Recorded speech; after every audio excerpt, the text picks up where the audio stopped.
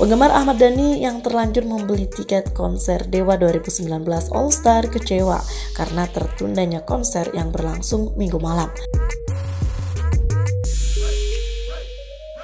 Para calon penonton pun mendatangi kantor panitia penyelenggara untuk merefund tiket sesuai janji pihak panitia. Konser Ahmad Dhani dibatalkan karena belum mengantongi izin keramaian dari kepolisian. Hingga Senin siang, refund tiket telah mencapai 70% dari penjualan IO dan salah satu radio di Surabaya. Hingga kini pihak panitia masih menunggu para penonton konser untuk melakukan refund tiket penuh 100%. Akibat pembatalan konser bertema Hadapi dengan Senyuman ini, panitia mengaku merugi hingga 400 juta rupiah.